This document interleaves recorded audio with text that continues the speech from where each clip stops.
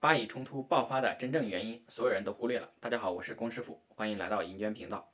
以下文章原创古源，来自微信公众号古老板。今天我们要讨论一个已经连续冲突八十年的敏感话题——巴勒斯坦的混乱局势。让我们不再忽视冲突爆发的真正原因，探讨其中的根本。在许多历史和现实分析中，我们常常会忽略一个基本问题：巴以冲突的核心究竟是什么？答案非常简单，那就是对国家的争夺。犹太复国主义者和巴勒斯坦人。都希望在中东地区建立自己的国家，这种对国家的追求导致了领土终端、首都之争。然而，我们不得不问：国家真的有这么重要吗？它真的值得牺牲如此多的生命和安宁吗？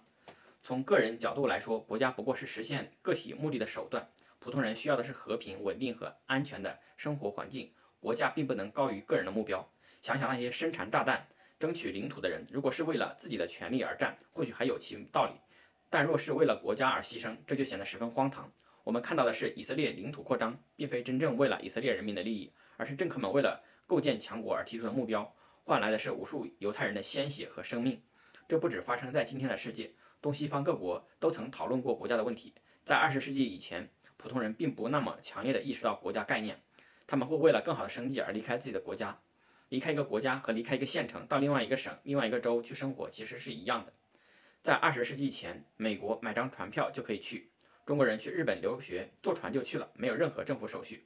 欧洲各国的民众随时去任何一个地工作。而在二十世纪之后，国家这一概念变得异常重要，没有国就没有家。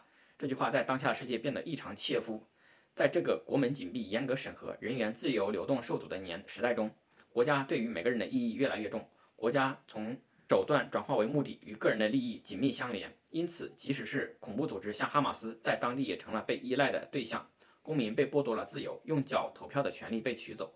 民众撇不开这些集体主义观念，我们的世界转变为经济民族主义盛行的状态，而国家主义和民族主义的深观念深深影响着我们。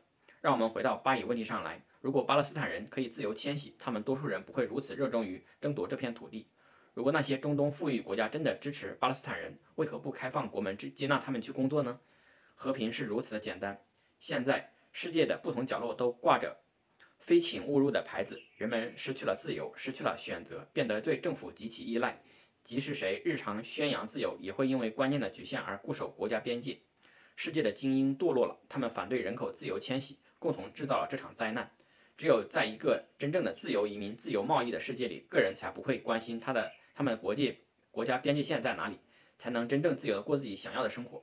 在这里，我们需要深思：我们是否需要打破，愿意打破国家的牢笼？是否愿意拥抱一个不同的世界观？这个问题的答案可能决定着我们未来的方向。感谢大家的观看，我们下期节目再见，拜拜。